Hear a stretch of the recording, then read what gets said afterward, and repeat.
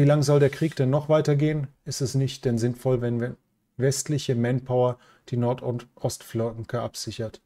Ist es denn nicht sinnvoll, wenn... Wie lange soll der Krieg noch weitergehen? Das ist erstmal die Frage, aus welcher Sicht. Als Mensch wollen wir natürlich, dass der Krieg jetzt aufhört, damit das Sterben aufhört.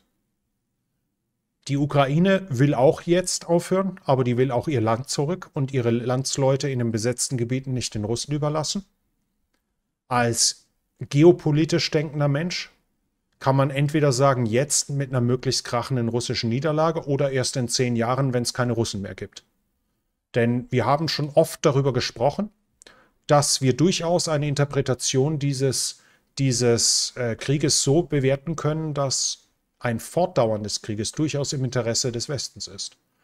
Denn Russland packt immer größere Teile seiner nationalen Wirtschaft in die Rüstung und es schickt immer mehr Russen an die Front, wo sie sterben und verstümmelt werden. Russland wird gerade mit jedem Tag schwächer. Russland hat auf dem Kaukasus, haben wir ja schon oft drüber gesprochen, wir haben heute über Armenien gesprochen, dass wir darüber reden, ob Aserbaidschan vielleicht einmarschiert, um sich die Provinzen zu holen, die, die, diese Exklaven zu holen. Das war undenkbar vor drei Jahren. Dass sie hier, ich meine, es ist ja nicht weit, aber dass sie das hier überqueren, um das in Anführungsstrichen zu befreien, oder rein technisch gesehen ist es wohl eine Befreiung, um das zu befreien, das, ist, das war undenkbar. Heute ist es eine realistische Option für die Aserbaidschaner, weil Russland so geschwächt ist. Und je länger der Krieg dauert, Russland wird in dem Krieg nicht stärker. Es verblutet seine Jugend, viele davon, die noch keine Kinder hatten, in einem Land, in dem die Demografie kollabiert.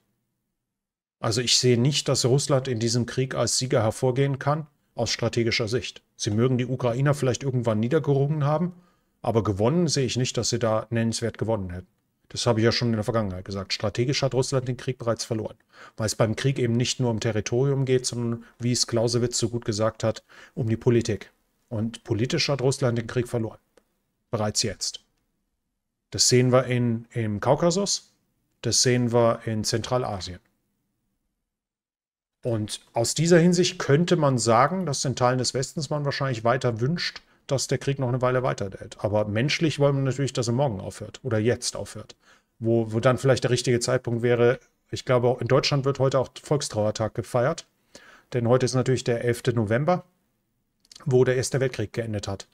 Am, am 11., in der 11. Stunde am 11 des ähm, 11. Tag des Novembers, des 11. Monats.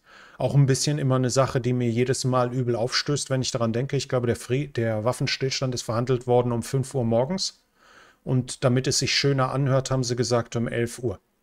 Das heißt, zwischen 5 Uhr und 11 Uhr sind noch Tausende, Tausend oder Tausende gestorben.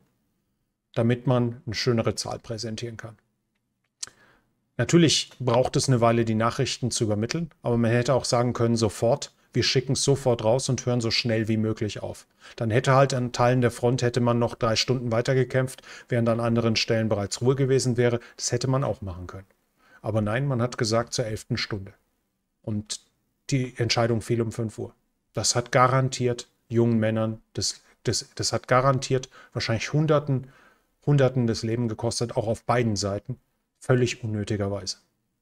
Das ist, das ist jedes Mal, wenn, wenn der 11. November ist, muss ich daran denken.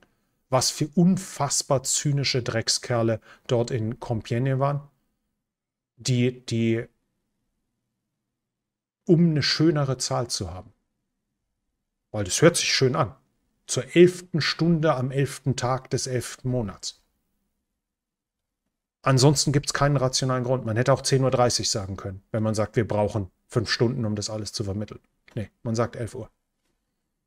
Das hat Menschenleben gekostet. Und natürlich wünschen wir uns als Menschen, dass der Krieg morgen vorbei ist. Dass ich hier zwei Monate Urlaub machen kann, ohne Livestreams und danach halt nicht vor 10.000 streame, sondern vor 1.800, um, weil ich über den Sudan rede und der Großteil von ihnen sie das nicht interessiert. Äh, wenn dafür das Sterben in der Ukraine aufhört, wäre das ein fairer Preis, den ich gerne bezahlen würde.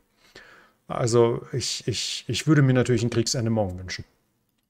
Wenn Ihnen das Video gefallen hat, dann schauen Sie doch mal vorbei auf dem Hauptkanal, wo es ursprünglich erschienen ist. Militär und Geschichte mit Thorsten Heinrich. Den Link dazu finden Sie hier in der Beschreibung.